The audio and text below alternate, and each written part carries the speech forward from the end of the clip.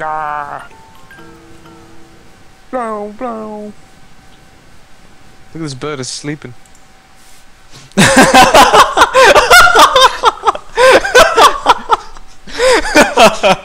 Wonderful. What?